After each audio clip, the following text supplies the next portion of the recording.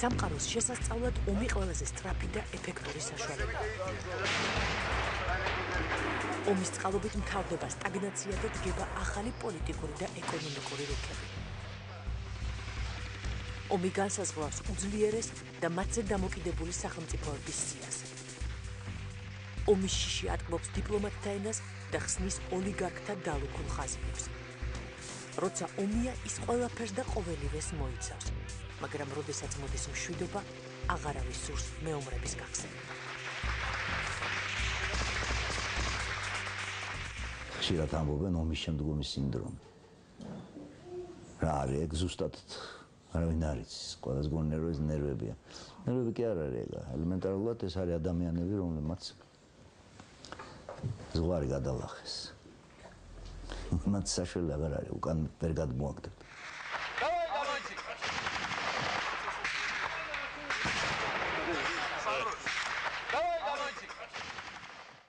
გადმოაგდებთ. ეს ციგნები ეს ყველაფერი რა ვიცი.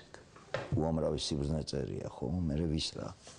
რა შეარგია თუ ინგრევა ერთს ყველაფერი.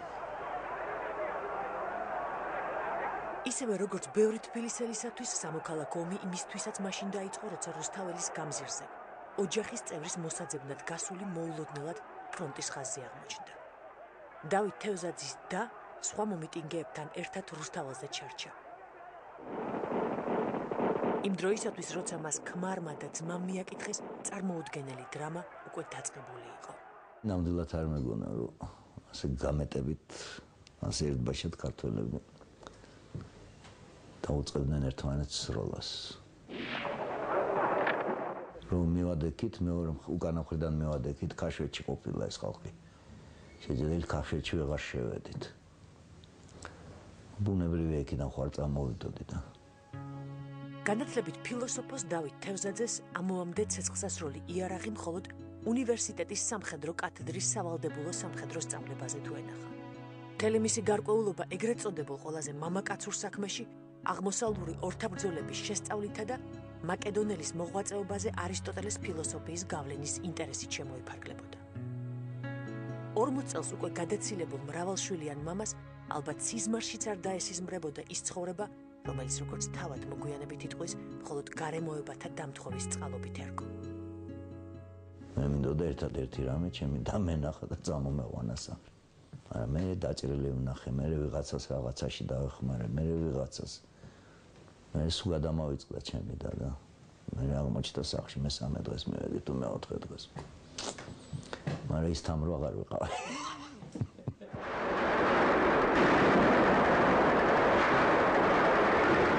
დენთისა და სისხლის სული, პატრიოტული იდეები და საკუთარი ძალის შეგრძნება. ხოლო იდეებთან ბრძოლას მიჩვეული მეცნიერისათვის არა მარტო ახალი, არამედ წარმოუდგენლად უცხოც უნდა ყოფილიყო. ეს ყველაფერი დავით თევზაძემ ისე მოირგო, როგორც მისთვის შეკერილი სამოსი. ალბათ ისევ გარემოებათა დამთხოვით ომს ფიზიკურად გადაურჩა. თუმცა მან მისი მშვიდობიანი ცხოვრება დიდი ხნით დაასამარა.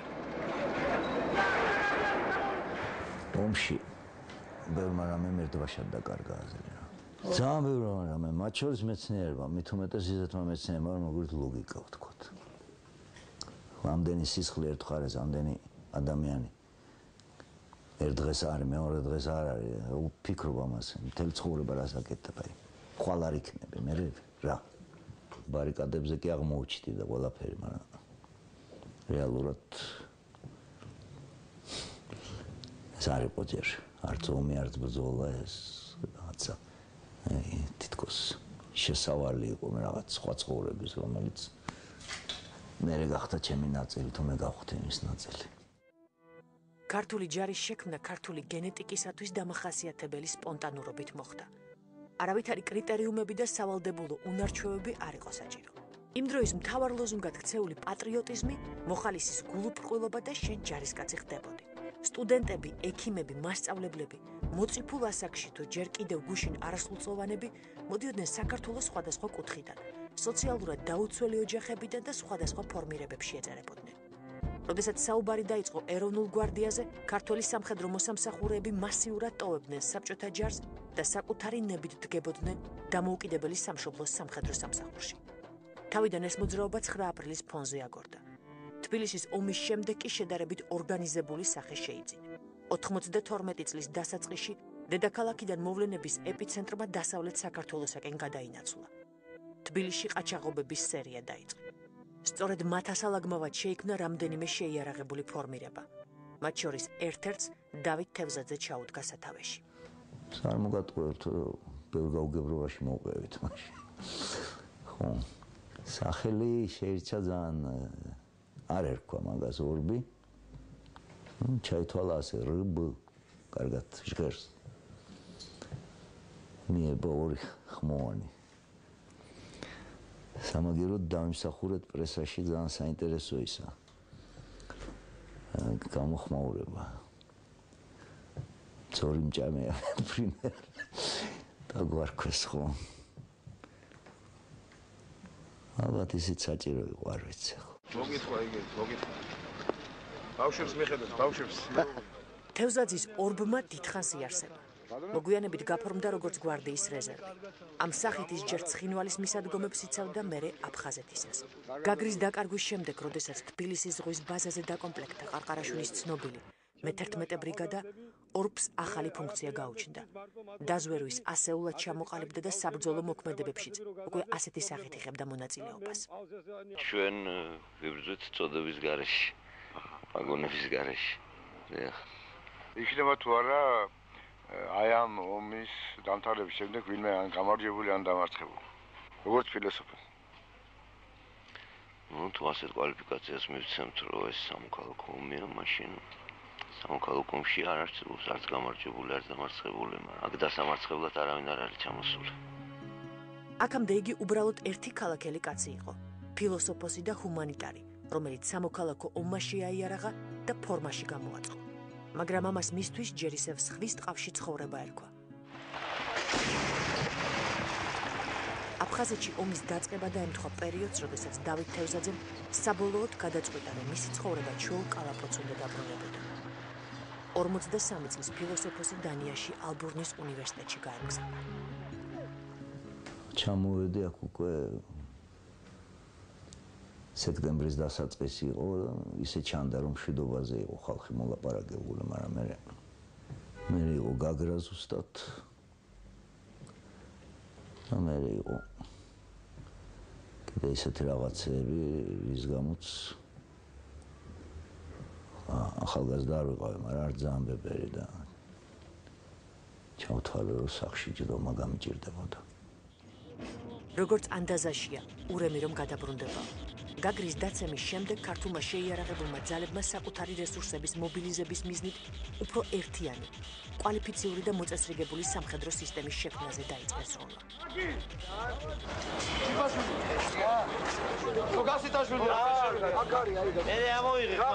დავით თევზაძის ორბი აფხაზეთის ომში გია ყარყარაშვილის თეთრ არწივთან ერთად იბრძოდა. დანიიდან დაბრუნებული ფილოსოფოსი პირდაპირ სამხედრო წვრთნებზე მოხვდა. ორთვე ნახევარში კი ახლა ჩამოყალიბებული მე-11 ბრიგადის შემადგენლობაში. ბოლომდე გასამხედროებული დავით თევზაძე აგუძერის ბაზაზე ნამდვილი ბრძოლის ველზე აღმოჩნდა. მისმა დიდმა ოჯახმა ამის შესახებ ორი კვირა არაფერი იცოდა. მალავთ გეუბნებოდი მოსკოვში ვარ მევლინებით მეთქი. და არ მაგზნობინეს რომ იცოდნა ხო, არ გოსპიტალში რომ მოხვდი მე. ძნელი იყო დავალ თუმცა არ დაუშლია. არც ერთს არ მეორეს. ერთი იყო რომ მამამ მკითხა სირბილი თუ შეგვიძლია მე მასაკში ვიყავი წესით არ უნდა შემძლებოდა თევზაძეს და მის სადაზვრო ბატალიონად მონათლულ ორბს თავისი მონაკვეთი ოჩამჩირესა და სოხუმშორის მთელი ომის განმავლობაში ეჭირა საჭიროებისამებრ მონაწილეობდნენ სხვა ბრძოლებშიც. ნამდვილი ომი ჯარისკაცად მონათვლის ყველაზე მძიმე ცერემონიალია. მაგრამ ამ ცერემონიალის შემდეგ როგორც წესი სხვა ტყავში ვეღარ გაიმართება. თევზაძის ბატალიონში სათითაოდ ყველა მეომარი უმძიმესი გამოცდილებით გადიოდა ამ ნათლობას. ეს ყველაზე მძიმე იყო მაინც 16-17 მარტი. პირველი იყო ჩვენთვის ესეთი. და მეორე თო ჩვენ ზურგში დესანტი აღმოაჩინეთ. მე მოვიგერეთ. ორ დღე ნახევარი ვებძოლეთ და მე მე ჰოსპიტალში მოხვდი, მე დანარჩენებმა იბრძოლეს. არა კარგად ვიბრძოლეთ. მოგვიანებით დავით თევზაძეს მთელი მე-11 მოტომსროლელი ბრიგადა გადააბარეს. ომში სულ სხვა ეთიკაა. ერთის მხრივ ბრძოლის ველზე ნანახი სურათები ფიქრისა და განსჯის საუკეთესო მიზეზი უნდა იყოს, მაგრამ მოვლენათა განვითარების სისასტიკე განყელებული აზროვნების დროს არ გიტოვებს. აზრისა და ქმედების ერთიანობა ერთადერთი სწორი გზაა გადასარჩენად. თუ ვინმე ცოცხალი არის შემთხვევით ცოცხალი ახლა, ამიტომ ლაპარაკად არ ვერცო. ერთია რომ შენ არ უნდა იყო დამნაშავე იმაში რომ მეგობარი იკარგება. იქ სხვისი სიცოცხლე უფრო ღირებულია ვიდრე შენი. სხვანაირად ერთ ვერასოდეს ვერ იომებ. სოხუმი დაეცა. ქალაქი ყოლამ დატოვა. თევზაძემ სოხუმის დაკარგვით არა მხოლოდ სტრატეგიულად მნიშვნელოვანი წერტილი, არამედ მშობლიური ქალაქიც დაკარგა. ერთად ბავშვობა თვითონ იყო რაღაც. ამისეთი. ნათელი. და იყო ორი ხელობა ქონდა ასე თქვათ. სტომატოლოგი იყო და ქართულის მასწავლებელი. სამ სოხუმში ცხოვრობდით. მამა პედინსტიტუტში მუშაობდა. სურათი მახსოვს ერთი ძალიან ნათელი. სიანი ამინდი. წვანე ხეები და მოლივლივე ზღვა. ძალიან დიდი ხნის სინებას ყველაფერში. თუ ომის დროს ქმედება გადამწყვეტია, ომის შემდეგ ყველაფერი იცვლება. დამარცხებული მეომრის ერთადერთი თავშესაფარი ხშირად მხოლოდ ფილოსოფიაა. ადამიანები, რომელთაც ზღვარი გადალახეს სახლებში უცხოებივით ბრუნდებოდნენ. მათთვის ყველა ნივთმა, ყველა მოვლენამ, სიტყვამ სხვა აზრი და დატვირთვა შეიძინა. სახლშიც ისე შეხვდნენ, როგორც არასასურველ სტუმრებს, საზოგადოება ვეტერანთაგან თავშორს იჭერდა. არ სურდა დამარცხების გაზიარება. თითქოს აფხაზეთი მხოლოდ სამხედროებმა დაკარგეს და არა ყველამ ერთად.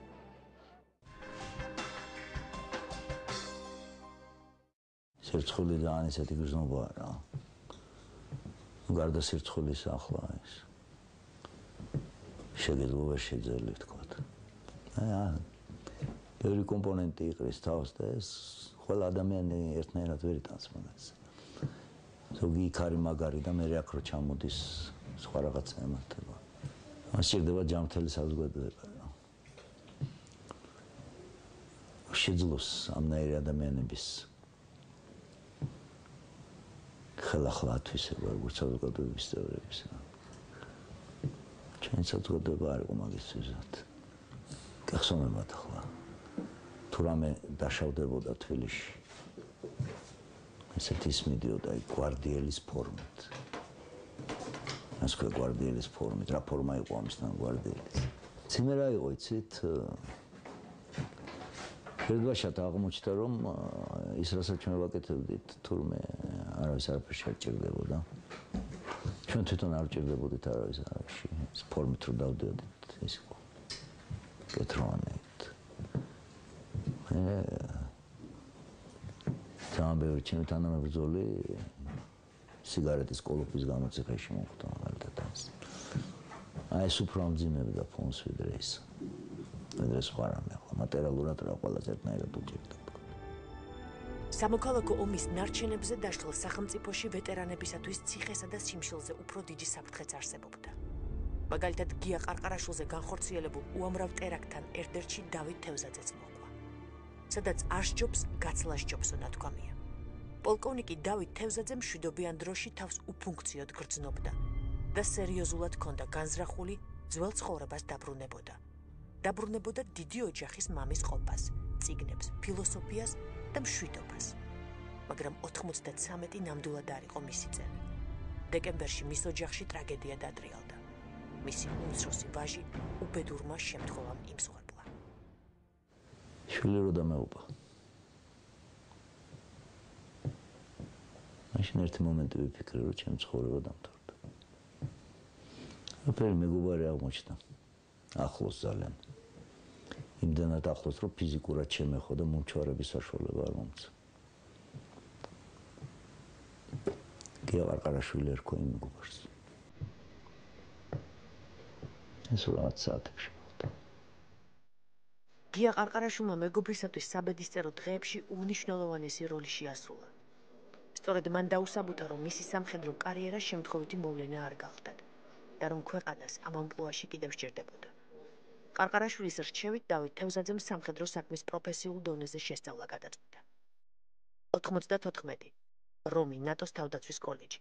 95 გერმანია უსაფრთხოების კვლევათა ჯონ მარშალის სახელობის ევროპული ცენტრი თავდაცვითი ეკონომიკის კოლეჯი. 1996 ამერიკა ლეკლენდი ტეხასი თავდაცვის ენათა ინსტიტუტი. 1996 ამერიკა ფორტ ლევენბორტი კანზასი ამერიკის შეერთებული შტატების არმიის სამეთაურო და გენერალური შტაბის კოლეჯი. კვალიფიკაციის მატებასთან ერთად ვითარდებოდა მისი კარიერაც. 94 წელს, როცა თავდაცვის მინისტრი გია ყარყარაშვილი გადადგა და მისი ადგილი გენერალმა ნადიბაიძემ დაიჭირა, თევზაძე საერთაშორისო ურთიერთობების სამართლოს უფროსად დაინიშნა. 97-ში ამერიკიდან დაბრუნებულ თევზაძეს საქართველოს პრეზიდენტის კანცელარიაში ახლად შექმნილი სამხედრო ძალების მთავარი სამხედრო ინსპექციის მართვა დაევალა. მისი მოვალეობა პრეზიდენტისათვის ანალიტიკური მასალის მომზადება იყო. ამან საშუალება მისცა ერთი წლის განმავლობაში გაცნობოდა ყველა სტრუქტურას და გაეგო, როგორ ფუნქციონირებდა ყოველი მათგანი.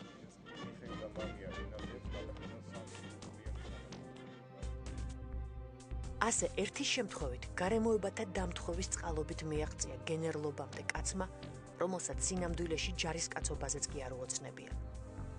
თავდაცვის მინისტრად მის დანიშნვას წინ ერთი დაძაბული შაბათკვირა უსწრებდა. ქვეყნის პირველი პირის თვითმფრინავს საფრთხე შეექმნა. ამ ინციდენტის მეორე დღესვე უკვე გენერალ დავით თევზაძეს ნუგზარ საჯაიამ დაურეკა და გააფრთხილა რომ პრეზიდენტს მასთან შეხვედრა სურდა. 15 წუთში მართლაც გამომიძახა. პრეზიდენტმა მკითხა თუ ვიყავი საქმის კურსში. ლაბორატორია იმაზე რომ პრეზიდენტის თვითფრინავს სუები უნდა დახვედროდა და ვერ დახვდა. აი, ქვები აღმოჩნდა ჩაყრილი იმაში. თუ გახსოვთ იყო ეგეთი ეპიზოდი. მე ვიფიქრე, გამომიძახეს იმიტომ რომ როგორც ინსპექციის უფროსო უნდა მომემზადებინა მოხსენებითი ბარათი ამის თაობაზე რა მოხდა. ან ლაპარაკი წავიდა სხვა მიმართულებით. პრეზიდენტმა თქვა რომ მან გადააყენა ministri და კითხა მე შეძლებდი თუ არა ministrობას.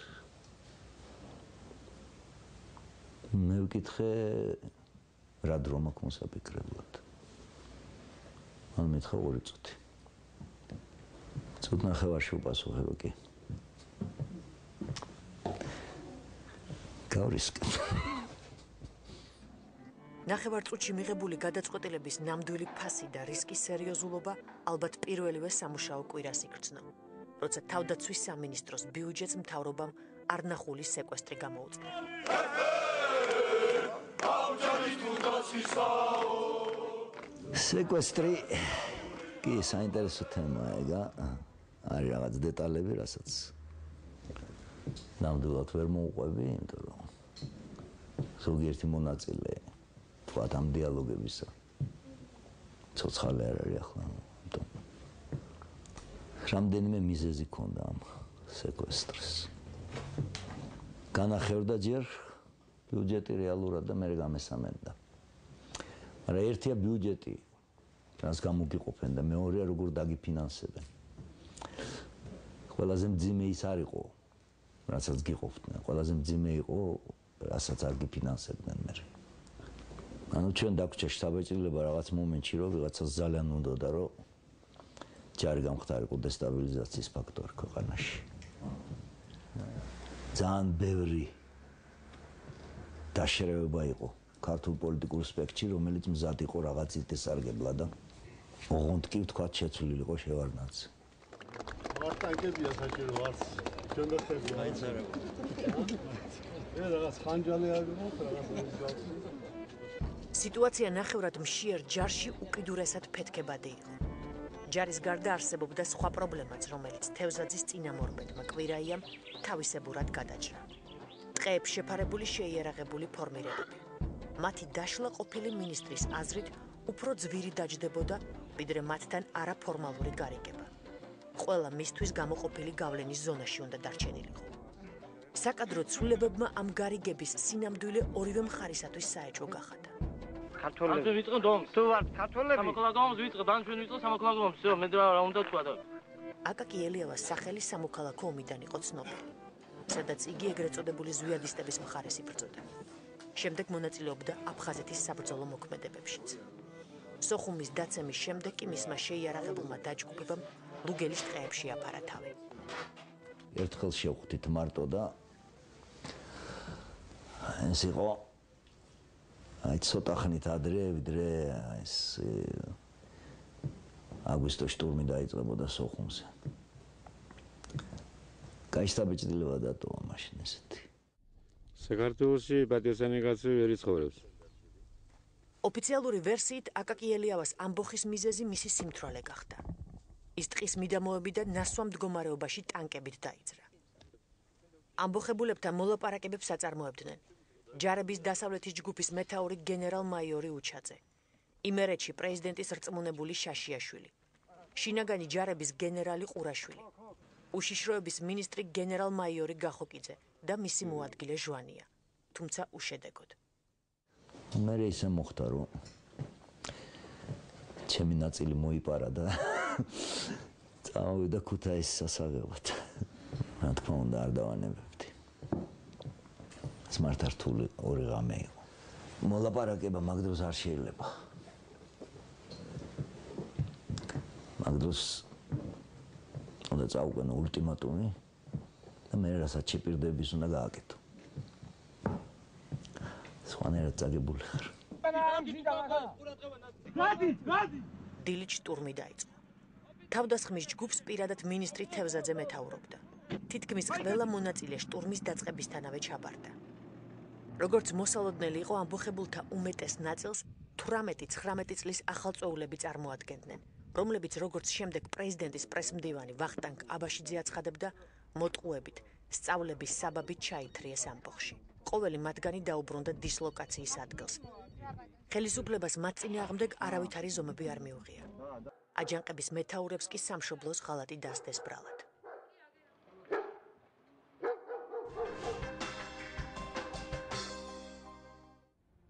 2000 წლის 1 ივნის თბილისში ტერაქტი განხორციელდა. ტერაქტს თავდაცვის ministris ძმა გურამ თევზაძე ემსხვერპლა.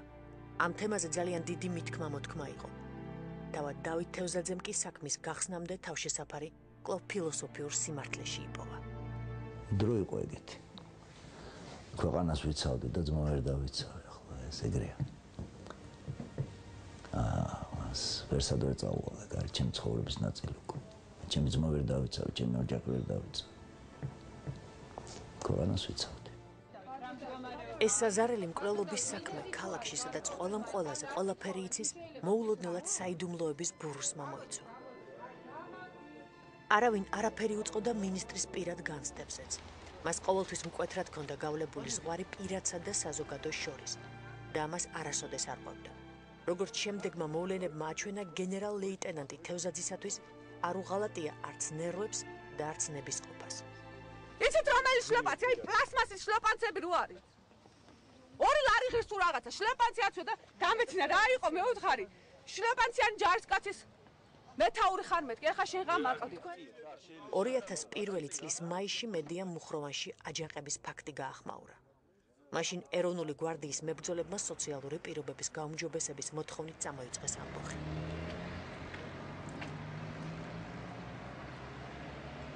იმის გულიც რომ კაცი ჩექმას ითხოს კოჯის ბატალიონმა უნდა ჩაცხროს და არაფერს უცნაურს ისინი არ ეთხოვდნენ და ჩემგანაც არ ეთხოვდნენ ეთხოვდნენ სახელმწიფოსგან. აა ფორმა არ იყო სწორი პრინციპში. მან ცოტა გაუგებრობა იყო. საერთოდ ეს დადგმული ამბოხი როგორც მე გაირკვა რა ახლა ვინც ეს ნაბიჯი გადადგა მე იმას ძალიან ახლოს ვიცნობდი ომიდან. ამიტომ მასთან მოლაპარაკება უბრალოდ ვალდებული ვიყავ ოჯერ დამელაპარაკა. უმესმინა რა უნდა და რა როგორ მოხდა ამის მერე შევხვდი პრეზიდენტს და ვთხოვე რომ გადავეყენებინე. რომ მე შევპირდი იმას რომ ან მის მოთხოვნებს მოისმენდა უმაღლესი მთავარსარდალიან და მე გადავდგებოდი და მის გვერდში დავდგებოდი. უმაღლესი მთავარსარდალმა გადაწყვიტა რომ მოესმინა. საქართველოს ჩრდილოეთით განვითარებულმა დრამატულმა ამბებმა ქვეყნის უშიშროებას და თავდაცვას სპეციფიკური სახე მისცა. არც მწვადისა და არც შამფურის დაწვა არ ეგებოდა. საკუთარი ტერიტორიის სრულად გაკონტროლება მაშინდელი ძალებით არარეალური ამოცანა იყო, მაგრამ მეტნაკლებად ლავირების საშუალება მაინც რჩებოდა. ამიტომ პანკიში არსებული ჩეჩნური დაჯგუფებებისათვის არსებობდა გარკვეული ხელშეუხებლობის დაუწერელი გარანტიები. ისინი თავის მხრივ უსიტყო თანხმობას აცხადებდნენ იმაზე, რომ ყოველსათვის შეუმჩნეველნი უნდა დარჩენილიყვნენ და საქართველოს პროვოკაციებისაგან დაზღვეული უნდა ყოფილიყო. მაგრამ მონასტერი მაინც აირია. ერთ-ერთ ქართულ არხზე გაშუქდა ინფორმაცია გილაევის დაჯგუფებების დასავლეთ საქართველოს ტერიტორიაზე გამოჩენის შესახებ. გილაევის ჯგუფი ერთ დღეს აღმოჩნდა ჯვარის მიდამოებში. როგორ ამანქანებით რანაირად ვინ გააკეთა ეს? თიყო მართლა სირთულე იმ წუთშივე ასეთი ის აზრი გაჩნდა რომ ეს გამოყენებული იქნებოდა დარტყმისათვის. ეს მართლა იყო საბაბი იმისთვის, რომ რუსებს როგორ შეცვლა? მე ხეზე ასვლა უნდა გასწავლოთ. წერდა იმნაირად, რომ ვერანაირ დაინახა ერთ-ერთ ჩეჩენი ვერსად. ეს მართლა წარმატებული ოპერაცია იყო. 48 საათი ჩავატარეთ. ცხონებულმა საჯან დაემბარა და ჯვარში არიან ჩეჩნები და რა გავაკეთოთ. მე დამიკავშირდა ემზარი. ერთ ჩოხთით ერთმანეთს ერთი გავიგე რომ რაღაც მძევლის პოზიციაში იყო უკვე. აუ მოძრავდით რა. გადაუკეტეთ ყველა მისასვლელი ყველას მაგენთან, მათ შორის ჟურნალისტებს. იმიტომ რომ კოდორი როცა დაიბომბა, ეგ სამწუხაროდ რუსთავი ორში გავიდა ცოტა არაკორექტული სიუჟეტი. ანუ სრულ ვაკუუმში მოაქციეთ სულ ყველა, და გავაკეთეთ რაღაც გადაადგილებები. შედეგი იყო რომ ფაქტიურად ეს პრობლემა მოხსენეთ. ეს ოპერაცია მუნჯი ministrisათვის დამახასიათებელი ხელწერით უსიტყვოდ ჩატარდა. პრობლემა, რომელიც მან მაშინ მოხსნა ქვეყნისათვის საბედისწერო მნიშვნელობისა იყო. რუსეთთან ურთიერთობის ოდნავ მაინც დაძაბვას, ისედაც რთული განვითარების გზიდან ქვეყნის საბოლოოდ გადაგდება შეეძლო. მით უბედას, რომ რუსული პრესა ინციდენტის პირველივე წუთებიდან ამ ფაქტს ისიაშუქებდა, როგორც ოფიციალური ომის წინაპირობას. მაგრამ ყველაფერმა გადაიარა. სიტუაციის საბოლოოდ გასამუხტავად სამხედრო პირთა შორის პროფესიული სოლიდარობა ჩაერთო. ოთი შეიძლება ლავირება. პირდაპირ გეტყვით ახლა. არ მახსოვს მე სირთულე, რომელიც მე შეხვედრის დროს აღმოჩენილა, რომ არა ვინასნი правильно поняли და რაღაცა. მაგის ბავშვი ვინ იყო, მაგრამ იგიძლოდა საშუალებას იმისას, რომ სწორად გაგვეკობ თქვა რაღაცა სიტუაციები გაგვემოხდა მაგალითად იგივე კოდორში. იმას გაგრძელება არ მოყოლია თქვენ იცით. ნუ ისე დამთავრდა ეს ყველაფერი, რომ ბოდიში მოიხადეს დესანტის გამო.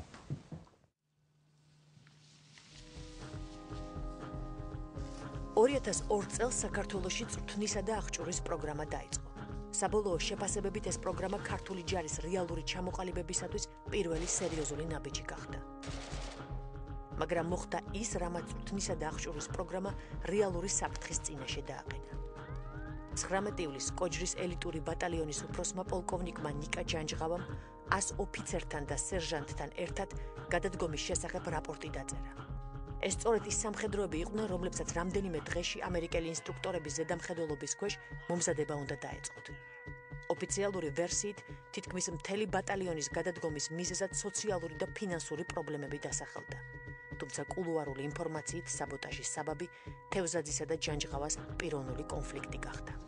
ცოტა ძიმეა ჩემთვის ჯანჯღავაზე ლაპარაკი ახლა ეს გავიცანი მე ისეთი თვალებანთებული ბავშვი იყო და გონა რომ ჯარი უნდა და მაგრამ მე გამოირკვა რომ პოლიტიკაც უნდა ერთდროულად.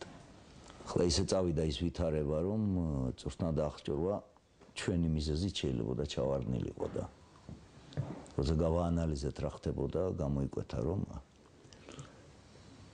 ან არაკეთილ სინდისერად აკეთებდა თავის საქმეს ან და გამიზნულად ცუდად აკეთებდა ან და არ შეეძლო საქმის კეთება სამივე შემთხვევაში ცალსაღა იყო დასკვნა რომ უნდა აგვერიდებინა ამ მისთვის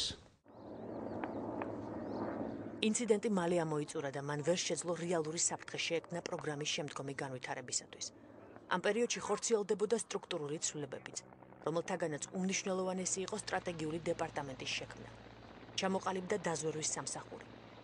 გარკვეულწილად გამოიკვეთა ფლოტის შექმნის პირველი ნიშნები. ეკონომიკური მარწუხების გამო ბევრი რამ მხოლოდ პირადი კონტაქტების ხარჯზე კეთდებოდა.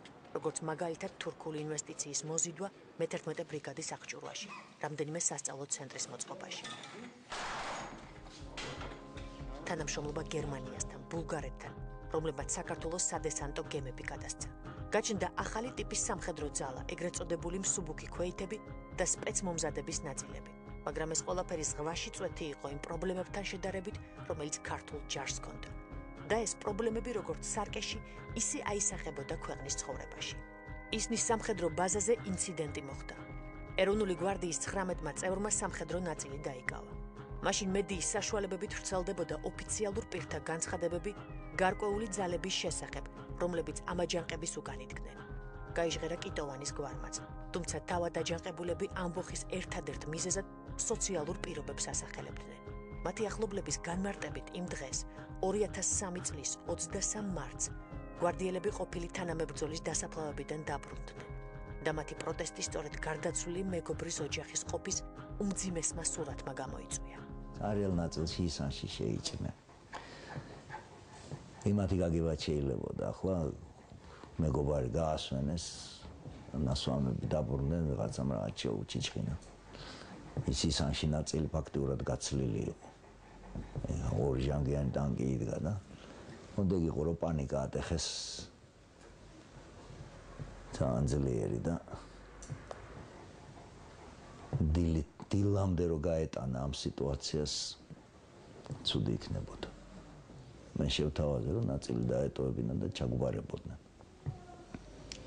რადგანაც მივიღე გაუგებარი მუქარა. მაშინ მე მოვთხოვე რომ ამ მუქარის შესრულება დაეწყოთ თვითონ ჯერ.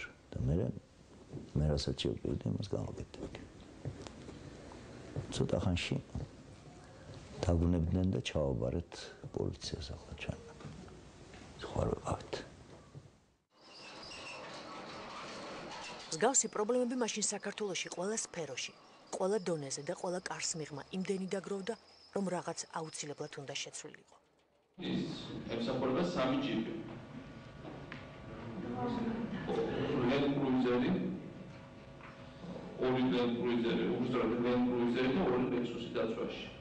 არც ერთი მათგანი რამდენიც მე ვიცი 60000 დოლარზე ნაკლები არ არის სამი ჯიპი ერთხელთან შესყიდული შემდეგ კიდე სამი ჯიპი იქნა შესყიდული რამდენად აქვს ამას რეალურად?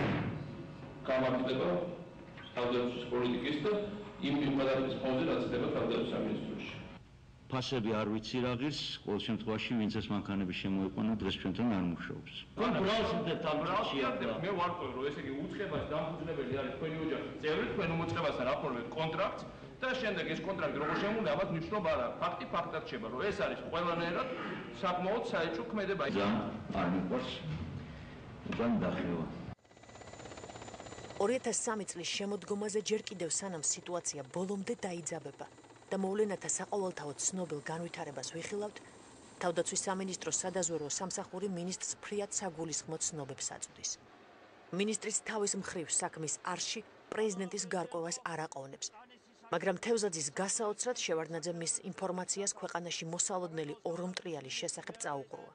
მეტიც ძალიან მალე საიდუმლო საბუთები გაურკვეველ ვითარებაში დაიკარგა.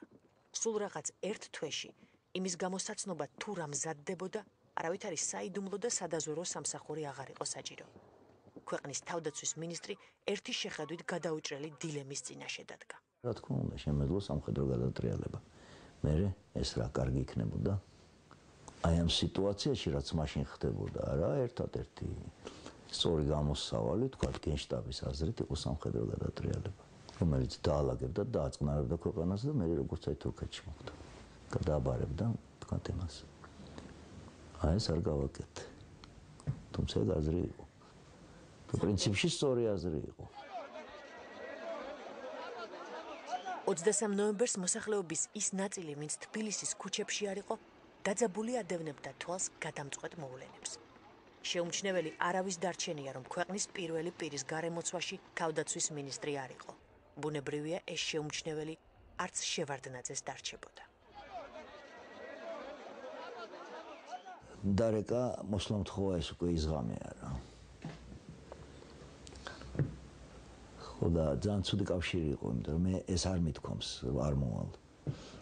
მე უთხარი რო აღმოჩნდეს რომ ვერ მოვედი მეთქი მაშინ როგორ მოვიქცე ანუ მე მჭირდებოდა დავალება რომელსაც უტოვებდი გეშტაბის უფროს თუ ყველაზე რთული მომენტი ეგ არის რომ წდები მართვის პუნქტ შეიძლება შენი ის გაგეკცეს სტრუქტურა ხო ახლა ქუჩაში რა ხდებოდა ეს გასაგებია მაგრამ ახლა ჯარიც რო გაქცეულიყო თქვა ამ ქუჩაში ან რამე იქნებოდა ხაოსი და უბედურება და მაგაზე პასუხისგებელი იმ წუთში არჩევარდნაძე იყო არც ხვავენ მე ვიყავი პასუხისგებელი.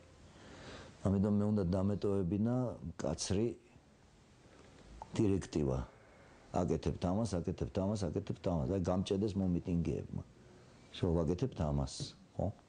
თქვათ ხო და მე მგონი ვერ აღიქვა სწორად შეკითხვა იმიტომ რომ ისეთი რაღაც მკითხა რომ მე მივხვდი რომ შემდეგ დაზუსტებას აზრი არ კონდა.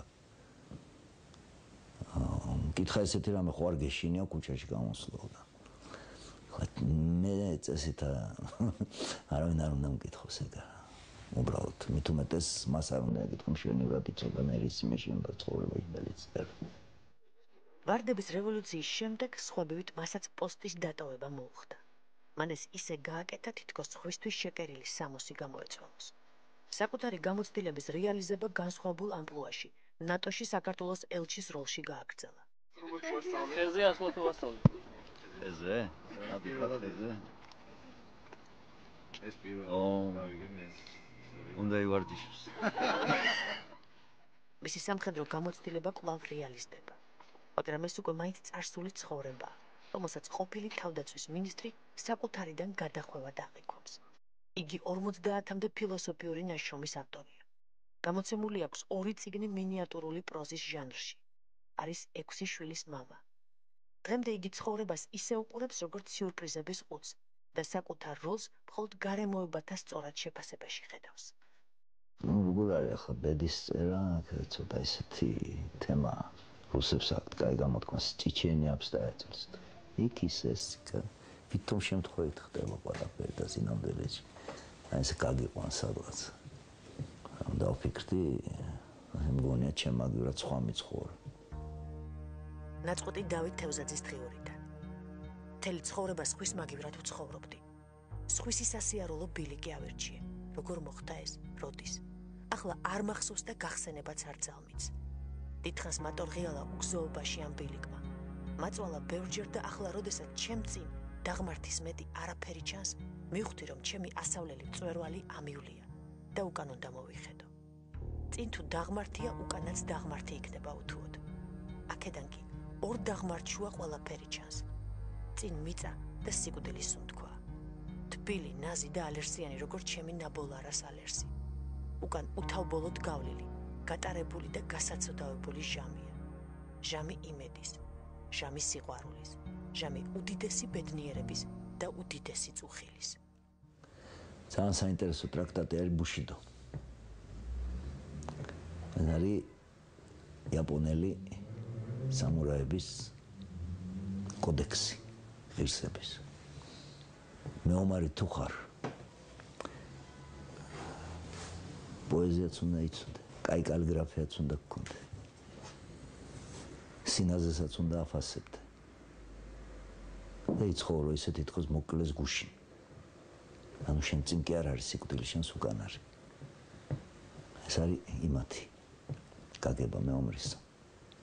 ის რომ ძალიან მნიშვნელოვანი ხარ ეს შენს მეომრობას აჩვენებს, ნულზე დავყავს, არასოდეს მეომარი არ იქნება. ყოველთვის რაღაცის შეგეშინდება.